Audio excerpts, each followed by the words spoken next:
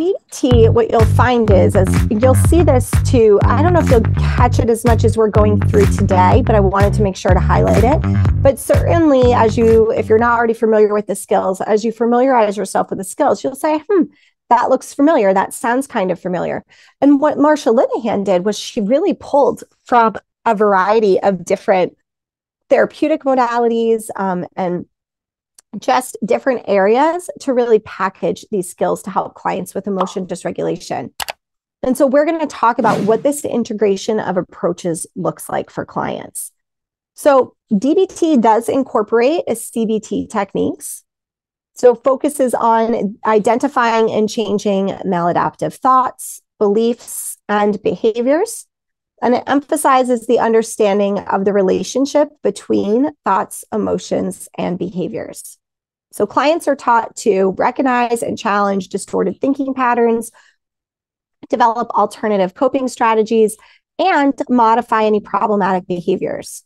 And so this really helps clients to gain insight into their thought processes, thought processes, there we go, and develop a more adaptive response to the challenging situations that they are facing. Right. So we have to really take this whole approach to making these changes to coping with that you know those um, um, coping with those negative thoughts that clients might be having or to managing those maladaptive coping patterns and so this is where we see that integration of cbt based looking material based i think that was the way i don't think that was quite the way i wanted to say it but we'll, we'll go with it just to give you an idea though of some of the differences um, between dbt and cbt so DBT adds a mindfulness component. And so we see these, um, there's also these acceptance techniques.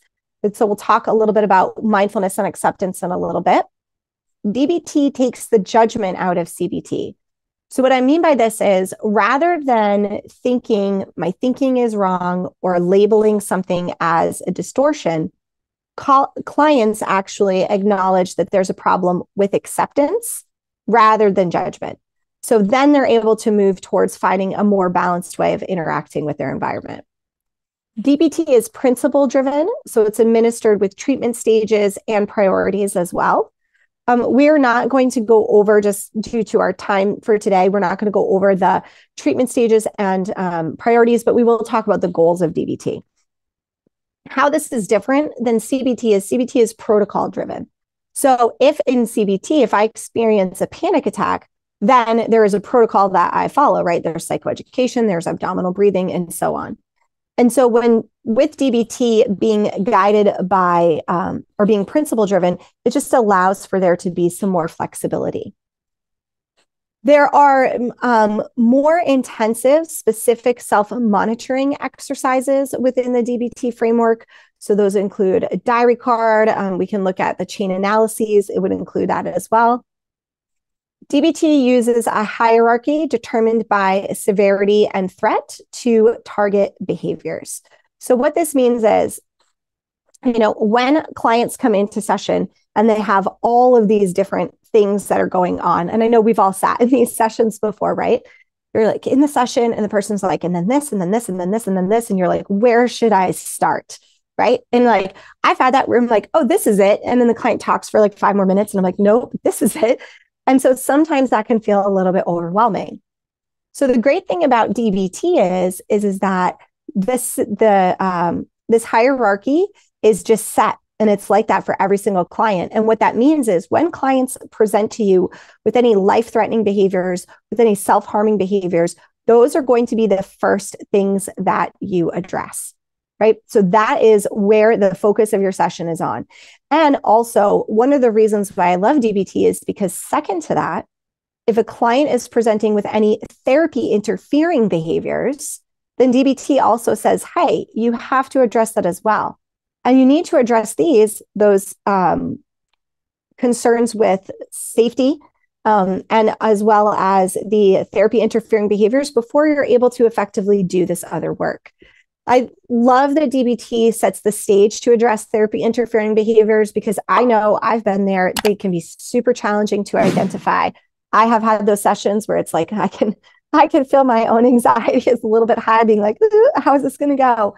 but DBT really opens the door for that. And so I found that to be just really effective in my clinical work.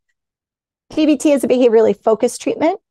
DBT has an openness to spirituality. I do think that this is important to note. This does not mean religion, so two different things. But um, we, I do know that there are those in our field who work from like a Christian based perspective or incorporate spirituality into their work. And so I do think, in all fairness, highlighting that is really important. Within the mindfulness module, in the supplemental handouts is where you would find some more information on using DBT um, and integrating some of those aspects of spirituality. So you would find that in the mindfulness module in the supplemental handouts. There is the use of therapist self-disclosure in DBT. And so usually when I'm consulting or when I'm when I'm working with interns that I've had in the past, I'll say to them, if you're saying something, if you're sharing something to illustrate a point, then that is an appropriate use of self-disclosure. If you're doing it to talk about yourself, then you need to seek a different venue for that, right?